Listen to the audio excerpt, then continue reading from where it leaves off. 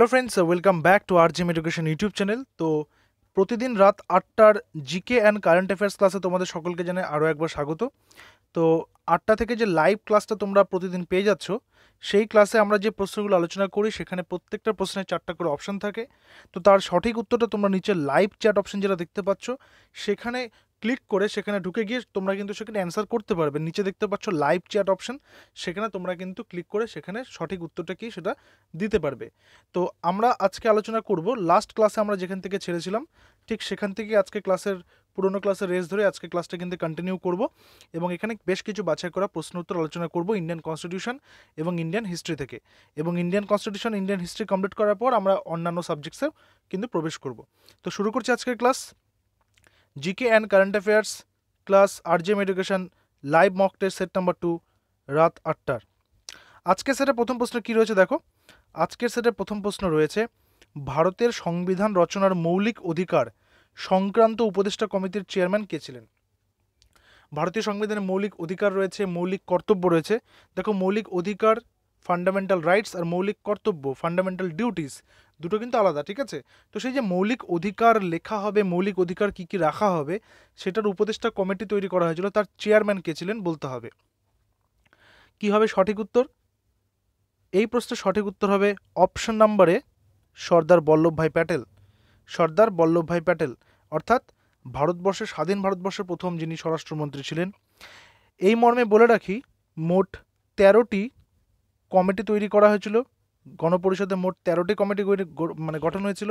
তার মধ্যে ছিল ইউনিয়নের ক্ষমতা সংক্রান্ত কমিটি, স্টেটস কমিটি, ইউনিয়নের গঠন সংক্রান্ত কমিটি, ড্রাফটিং বা খসড়া কমিটি, যেটা আমরা গত ক্লাসে আলোচনা করেছি। ডক্টর বি আর আম্বেদকর, যার প্রধান ছিলেন বা নেতৃত্বে ছিলেন। প্রদেশগুলির গঠন সংক্রান্ত কমিটি, যেখানে বিভিন্ন প্রদেশ তৈরি করা হচ্ছিল, যেখানে প্রথম অন্ধ্রপ্রদেশকে ভাষার ভিত্তিতে রাজ্যের একটা ইয়ে দেওয়া হয় মানে যেটাকে বলা হয় রাজ্যের স্বীকৃতি দেওয়া হয়। মৌলিক অধিকার সংক্রান্ত কমিটি যেটা আমরা এখন আলোচনা করছি, রুলস অফ প্রসিডিওর কমিটি, পরিচালক কমিটি, অর্থ কর্মী সংক্রান্ত committee credential committee, house committee, order of business committee এবং পতাকা কমিটি। ঠিক আছে, প্রত্যেকটা কমিটি খুব ইম্পর্টেন্ট এবং প্রত্যেকটা কমিটির চেয়ারম্যান কে ছিল সেগুলো কিন্তু তোমাদেরকে ভালো করে পড়ে রাখতে হবে। চলে আসে প্রশ্ন নম্বর দুই। প্রশ্ন নম্বর দুয়ে কী রয়েছে? প্রশ্নের সাথে সাথে তোমরা কিন্তু নিচে অ্যান্সার করার চেষ্টা করবে। প্রশ্ন নম্বর দুয়ে রয়েছে, ভারতের সংসদীয় ব্যবস্থা এবং ভোট ব্যবস্থা ভারতে যে সংসদ মানে হচ্ছে যে সাংসদীয় যেগুলো ব্যবস্থা রয়েছে, এমপি এবং তার পাশে মানে পার্লামেন্ট, মেম্বার অফ পার্লামেন্ট এবং ভোট ব্যবস্থা, এটা কোথা থেকে গৃহীত হচ্ছে? মনে রাখবে ভারতের সংবিধান সবথেকে বেশি কমপ্লেক্স এবং এই কমপ্লেক্সিটির কারণটা কি? এই কমপ্লেক্সিটির কারণ হচ্ছে ভারতবর্ষের সংবিধান কিন্তু কোনো একটা দেশের সংবিধানকে ফলো করে তৈরি হয়নি। বিভিন্ন দেশের সংবিধানের ভালো মন্দ বিচার করে সেখান থেকে কোন বৈশিষ্ট্যগুলোকে গ্রহণ করা যায় সেগুলো নিয়ে কিন্তু তৈরি হয়েছে। সে কারণে কিন্তু এগুলো জানতে হবে, এগুলো কিন্তু পড়তে হবে যে কোন বৈশিষ্ট্যটি কোথা থেকে গ্রহণ করা হয়েছে। তো এই প্রশ্নের সঠিক উত্তর কি হবে? এই প্রশ্নের সঠিক উত্তর হয়ে যাবে অপশন নাম্বার বি ব্রিটিশ সংবিধান থেকে। সংসদীয় এবং ভোট ব্যবস্থা ছাড়াও ক্যাবিনেট ব্যবস্থা এবং একক নাগরিকত্বের যে ব্যবস্থা, সেটা কিন্তু ব্রিটিশ সংবিধান থেকেই গ্রহণ করা হয়েছিল। আসি নাম্বার তিনে। নাম্বার তিনে রয়েছে ভারতের সংবিধান রচনার পতাকা কমিটি। পতাকা কমিটির কথা বলেছিলাম। পতাকা কমিটির চেয়ারম্যান বা সভাপতি বা নেতৃত্ব কে দিয়েছিলেন? Sardar Vallabhbhai Patel, doctor B R Ambedkar, Pandit Jawaharlal Nehru নাকি ডক্টর রাজেন্দ্র প্রসাদ? সঠিক উত্তর কী হবে? এই প্রশ্নের সঠিক উত্তর হয়ে যাবে option number D doctor Rajendra Prasad. তোমরা জানো ডক্টর রাজেন্দ্র প্রসাদ কে ছিলেন? তিনি ছিলেন স্বাধীন ভারতের প্রথম রাষ্ট্রপতি। চলে আসি নাম্বার চারে। বলা হয়েছে, সংবিধানের অন্তর্গত মৌলিক অধিকারের প্রস্তাবনা কোথা থেকে গৃহীত হয়েছে? অর্থাৎ সংবিধানে যে মৌলিক অধিকার এবং প্রস্তাবনা থাকবে, প্রস্তাবনাটা কি তোমরা জানো? দেখবে যে কোনো সরকারি বইতেই, স্কুলের যে কোনো বই, সেখানে দেখবে যে প্রিয়াম্বল দেওয়া থাকে, প্রথম পেজে প্রিয়াম্বল বা প্রস্তাবনা দেওয়া থাকে যে আমরা ভারতের নাগরিক এবং সেখানে ওই যে কয়েকটা ওয়ার্ড রয়েছে সার্বভৌমত্ব, ধর্মনিরপেক্ষতা, তারপর বিভিন্ন রকমের যে ওয়ার্ডসগুলো রয়েছে, সেই ওয়ার্ডসগুলো ওই গোটা পেজটা হচ্ছে প্রস্তাবনা, সংবিধানের প্রস্তাবনা। এই প্রস্তাবনা এবং মৌলিক অধিকার ফান্ডামেন্টাল রাইটস ইত্যাদি কোথা থেকে গ্রহণ করা হয়েছে? সঠিক উত্তর হবে অপশন নাম্বার সি আমেরিকার সংবিধান। মনে রাখবে আমেরিকার সংবিধানই হচ্ছে প্রথম প্রস্তাবনা সহকারে লিখিত সংবিধান। এখানে কিন্তু আরেকটা প্রশ্ন অ্যাড করে দিলাম। আমেরিকার সংবিধান হচ্ছে প্রথম প্রস্তাবনা সহ লিখিত সংবিধান, ঠিক আছে? এছাড়াও আমেরিকার সংবিধান থেকে যদি বলি সুপ্রিম কোর্ট এবং হাইকোর্টের বিচারপতিকে যে ইমপিচমেন্ট করা হবে বা অপসারণ করা হবে, সেটাও কিন্তু আমেরিকার সংবিধান থেকেই গ্রহণ করা হয়েছে। নাম্বার পাঁচে আসব, বলেছে উনিশশো ছেচল্লিশ সালে, দেখো, যখন যে লর্ড মাউন্টব্যাটেনকে পাঠানো হচ্ছে ভারতবর্ষে। ওই ইনসিডেন্টটা তোমরা জানো। সেই সময় হচ্ছে ভারতবর্ষে নতুন সরকার তৈরি হচ্ছে। ব্রিটিশরা ঠিক করছে যে ব্রিটিশরা দেশটা ছেড়ে চলে যাবে এবং শাসনভার দিয়ে যাবে কাকে? ভারতীয়দের ওপর। তো সেই সময় একটা অন্তর্বর্তীকালীন সরকার তৈরি হয় এবং উনিশশো ছেচল্লিশ সাল মানে তখন কিন্তু পাকিস্তানের অস্তিত্ব নেই, তখন পাকিস্তান জন্ম হয়নি। তো সেই সময় অন্তর্বর্তী সরকারের শিক্ষামন্ত্রী কে ছিলেন? আমরা প্রত্যেকেই জানি যে স্বাধীন ভারতের প্রথম শিক্ষামন্ত্রী ছিলেন মৌলানা আবুল কালাম আজাদ, কিন্তু উনিশশো ছিচল্লিশ খ্রিস্টাব্দে ভারতের অন্তর্বর্তী সরকারের প্রথম শিক্ষামন্ত্রী ছিলেন অপশন নাম্বার বি চক্রবর্তী রাজা গোপালাচারী। এবং ভারত পাকিস্তান যখন বিভাজন হয়ে যায় উনিশশো সাতচল্লিশ সালে, তারপরে কিন্তু এই কমিটিতে যারা যারা ছিলেন তাদের মধ্যে কিন্তু এই পদের পরিবর্তন হয়, পদাধিকারের পরিবর্তন হয়। তো এই প্রশ্নের সঠিক উত্তর হয়ে যাচ্ছে চক্রবর্তী রাজা গোপালাচারী কিন্তু যদি বলে স্বাধীন ভারতের প্রথম শিক্ষামন্ত্রী, তখন কিন্তু আমার হয়ে যাচ্ছে মৌলানা আবুল কালাম আজাদ। চলে আসব নাম্বার ছয়। ছয় বলা যে ভারতের সংবিধান রচনার হাউজিং কমিটির চেয়ারম্যান কে ছিলেন? সংবিধান রচনার হাউজিং কমিটির চেয়ারম্যান কে ছিলেন? কি হবে সঠিক উত্তর? এই প্রশ্নের সঠিক উত্তর হবে option number B Pattabhi Sitaramayya. এই নামটার সঙ্গে তোমরা কম বেশি প্রত্যেকেই পরিচিত। তোমরা জানো যে পট্টবী সীতারামাইয়া কিন্তু জাতীয় কংগ্রেসের একজন সদস্য ছিলেন এবং তিনি কিন্তু ভোটাভুটিতে একবার নেতাজি সুভাষচন্দ্রের কাছে হেরে গিয়েছিলেন, খুব খারাপভাবে হেরেছিলেন, কিন্তু তবুও গান্ধীজির জন্যই একমাত্র নেতাজি সেই পদত্যাগ করেন এবং তারপরে এই পট্টবী সীতারামাইয়াকে কিন্তু সেখানকার সভাপতি হিসেবে নিযুক্ত করা হয়। তো সেই পট্টবী সীতারামাইয়া কিন্তু ভারতের সংবিধান রচনার হাউজিং কমিটির চেয়ারম্যান ছিলেন।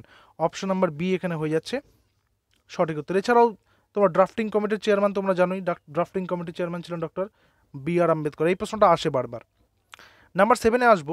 ভারতীয় লোকসভা এবং রাজ্যসভার যৌথ অধিবেশনে গৃহীত হয়েছে কোন সং মানে লোকসভা এবং যে হাউজিং সিস্টেমটা যে রয়েছে কি না ভারতবর্ষের আপার হাউস লোয়ার হাউস মানে পার্লামেন্টের যে মানে উচ্চকক্ষ, নিম্নকক্ষ রয়েছে লোকসভা এবং রাজ্যসভা, এই যে যৌথ অধিবেশন হবে, এটা কোথা থেকে বা কোন সংবিধান থেকে গ্রহণ করা হয়েছে? কি হবে সঠিক উত্তর?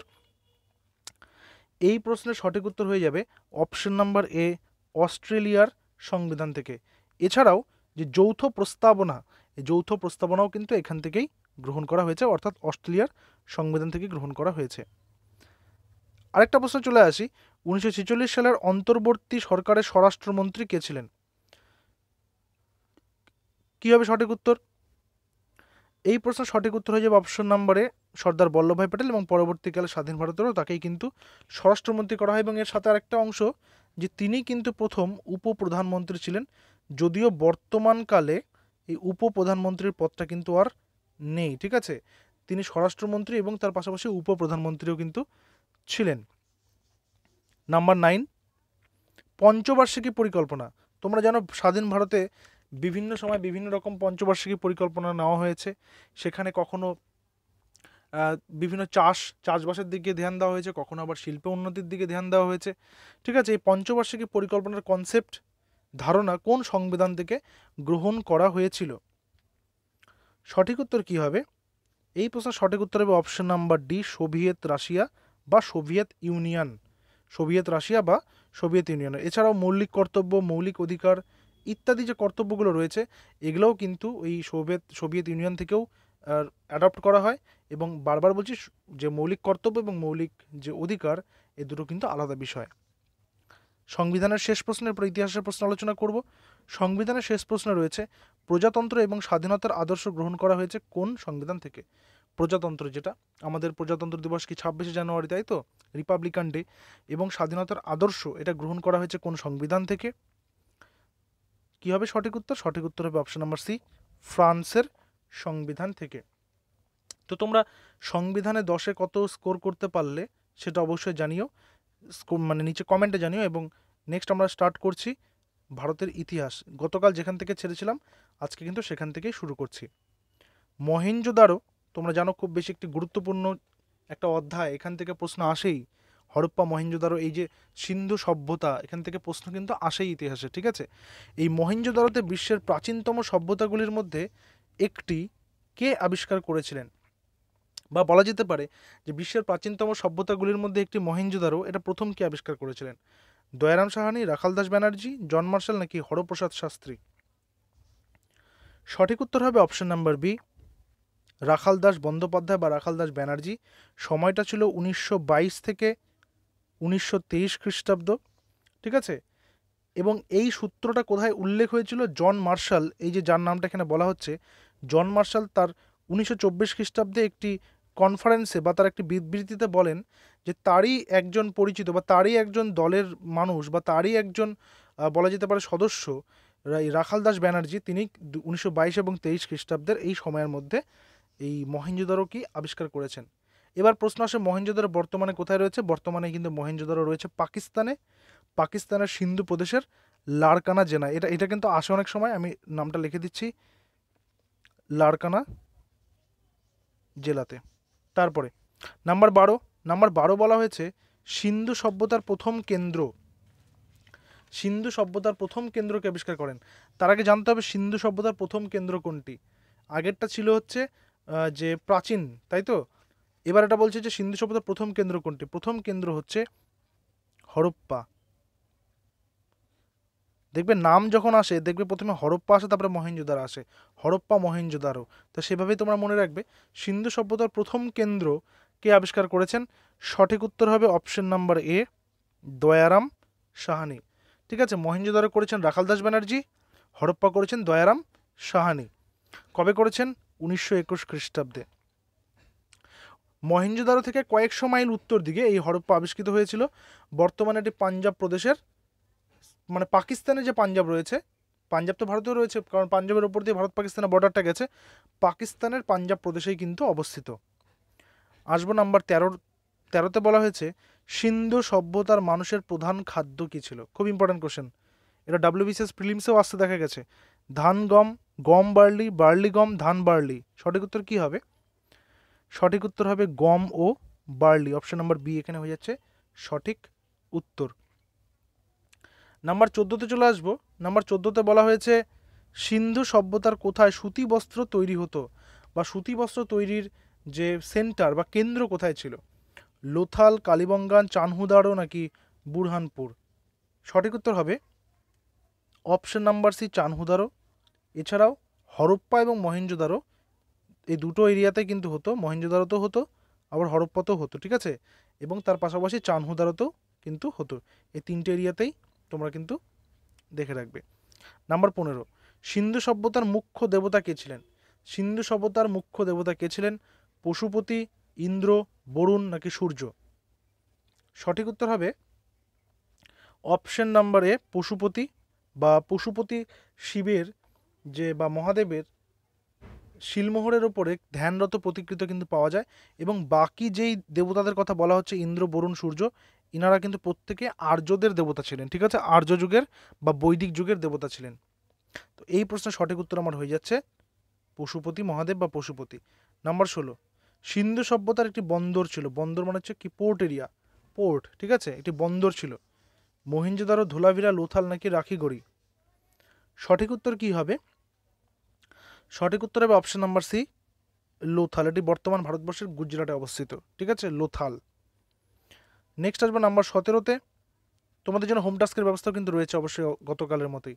ব্রোঞ্জ ধাতুর নৃত্যরত বালিকা মূর্তি কোথায় পাওয়া যায়? বিভিন্ন রকমভাবে।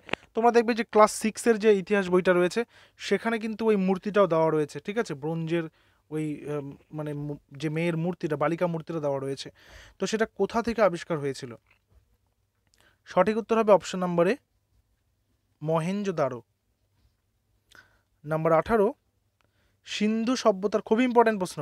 সিন্ধু সভ্যতার মুখ্য বাণিজ্য পণ্য বা প্রধান বাণিজ্য পণ্য কোন পণ্যকে তারা বাণিজ্যের জন্য ব্যবহার করত? গম, বার্লি, তুলা নাকি নীল? কি হবে সঠিক উত্তর?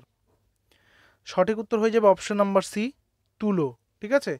এবং তাদের প্রধান খাদ্য ছিল কিন্তু গম, বার্লি এবং তারা ইয়ে করতো, বাণিজ্য করতো যেটাকে, সেটা হচ্ছে তুলো। এবং তারা বাণিজ্য কাদের সাথে করতো? সেই সময়কার আরও কয়েকটা গুরুত্বপূর্ণ উল্লেখযোগ্য সেন্টার হচ্ছে ইজিপশিয়ান সিভিলাইজেশন যাকে বলা হয় মিশরীয় সভ্যতা, মিসো মেসোপটেমিয়ান সিভিলাইজেশন যেটা বর্তমান ইরাকে, ঠিক আছে? ইত্যাদি কিন্তু সেই সময়কে ব্যাবিলনীয় সিভিলাইজেশনও ছিল, তার পরবর্তীকালে ইত্যাদি কিন্তু ছিল। নাম্বার উনিশে চলে আসব মেসোপটেমিয়ার নথিতে। মেসোপটেমিয়ার কথা এখনই বললাম। ওখানকার যে নথি রয়েছে, পুঁথি রয়েছে, সিন্ধু সভ্যতা কি নামে পরিচিত? খুবই ইম্পর্ট্যান্ট কোশ্চেন এটা। Meluhha, Akkadian, proto, citadel. সঠিক উত্তর হয়ে যাবে অপশন নাম্বারে মেলুহা। খুব ইম্পর্ট্যান্ট কোশ্চেন অর্থাৎ মেসোপটেমিয়ার নথিতে মেলুহা নামটির উল্লেখ বারবার পাওয়া যায় এবং মেসোপটেমিয়ার খোদাই করার ফলে সেখানেও কিন্তু সিন্ধু সভ্যতার যে মানে খোদাই করা বা সিন্ধু সভ্যতার শিল মোহর সেখানে উদ্ধার হয়েছে। সেই কারণে কিন্তু এই, এটা প্রমাণিত যে সিন্ধু সভ্যতার সাথে বা সিন্ধু বা মহেঞ্জোদারোর সাথে মেসোপটেমিয়ার যোগাযোগ ছিল। এবং নাম্বার কুড়ি, শেষ প্রশ্ন, প্রতিদিনের মতো তোমাদের জন্য এই প্রশ্নটি থাকবে।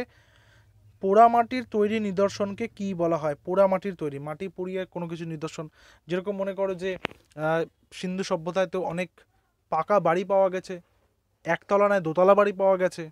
উঁচু বাড়ি পাওয়া গেছে, ঠিক আছে? এবং সেগুলো প্রত্যেকটা ইট দিয়ে তৈরি, পোড়া ইট দিয়ে তৈরি। তার মানে তারা সেই ব্যবহারটা জানতো। তো এই পোড়ামাটির তৈরি নিদর্শনকে কি বলা হয়? জোর বাংলা, টেরাকোটা প্রাচ্যের শিল্প নাকি সুক্কুর সঠিক সঠিক উত্তর কী হবে সেটা আমি বলব না, সেটা তোমরা বলবে। তো আউট অফ টোয়েন্টি তোমাদের স্কোর কত হলো সেটা তোমরা জানিও।